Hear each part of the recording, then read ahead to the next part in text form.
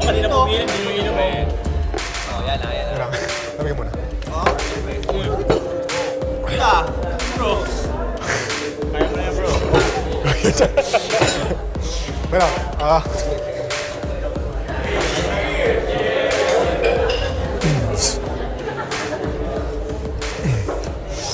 Excuse me.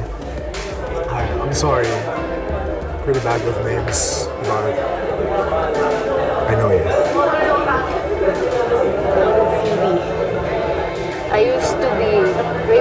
Sister. You're Santi, right? Yeah. And you used to be Rachel's boyfriend. Miss it? Sure. Thanks. Scotch. Rocks.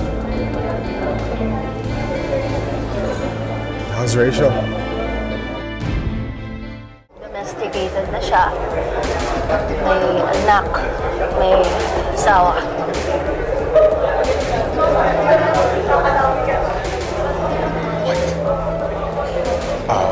Ito ba yung bata? Ah, so, alam mo rin pala yung tungkol sa anak nila ni Junior. Anak nila ni Junior? I don't think so. Then enlighten me.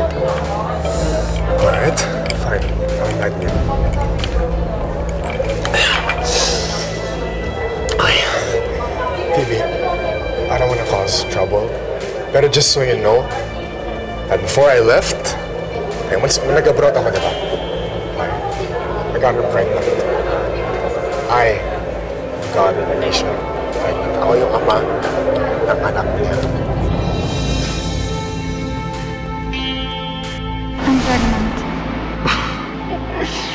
Wow! Oh my God, babe, that was good. Nasa, akala ko totoo for a second. Oh my God. Hindi ako nakikipagbiruan. Hindi ako nakikipaglokohan sa'yo. For once naman, maniwala ka naman sa akin. Ako ba? Oo. At sigurado ako dahil nanggaling ako sa doktor kanina. If you want, you can go see for yourself. Kailangan mo panagutan to. Kailangan mo akong pakasalan. I can't do this anymore. I can't take care of you and the baby. Hindi kita matutulungan.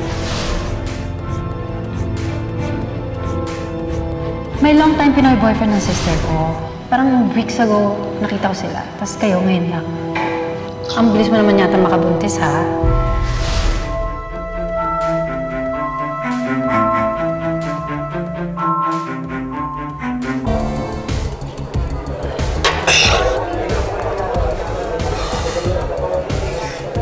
Gago talaga yung June na yan. Isipin mo, mahilig kumuha ng tira-tira. Kinuha niya yung tira-tira ko. You're right. Tagasalo lang si Junior ng mga leftovers. But look at him now. Busog na busog siya sa tira-tira mo. Pero ikaw, ngayon na nagbalik ka, wala man lang natira sa'yo kahit konti. Sad, no? No, Phoebe. Listen, kahit ilang beses, napakakasalan niya yung ugok na June na yun, ako pa rin ang mahal niya. Sigurado ka ba doon? Sigurado ka talaga doon? Yes, I am sure. Mo bakit pinakasal na yan? Parang may may tumayong tatay sa anak namin. Tapos tatakwil kayo ng magulang niya. Yung mangyayari. Di ba? Ganun kayo, di ba? Okay, fine. Sige. Paano mo papatunayan sa amin na ikaw pa rin talaga ang mahal ni Rachel? So ano, magpaprotesta ka sa Supreme Court? Magrarally ka sa EDSA? What? What are you gonna do? Paano mo mapapatunayan sa amin, Santi, na ikaw pa rin talaga ang mahal ni Rachel hanggang ngayon?